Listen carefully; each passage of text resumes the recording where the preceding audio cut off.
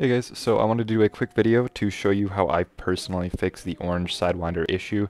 Uh, Frontier's been pretty silent on the forums and uh, overall with the support and the community trying to get this fixed. So I wanted to show you how I personally have been fixing it.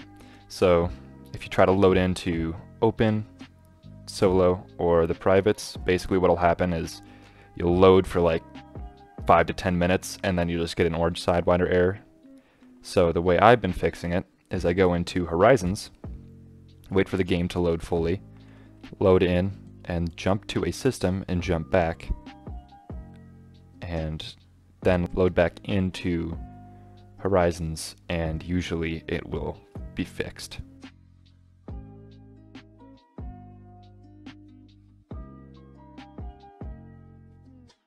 You see now we are loaded into Horizons, and usually this itself, loading into Horizons, will fix the issue, because I believe the orange Sidewinder error is just your character desyncing from your ship.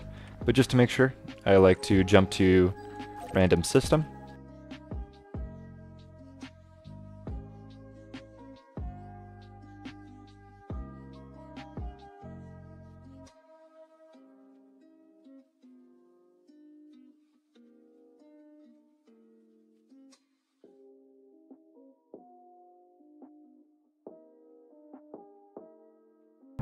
Alright, now that we're back where we started, or at least we've made a couple jumps, all you need to do is exit back to desktop.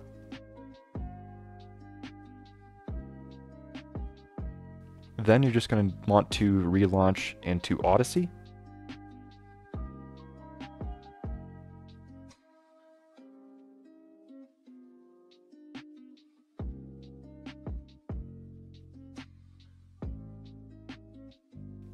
And there you go. It's really as simple as that. I hope the guide helped you out. Have a good day.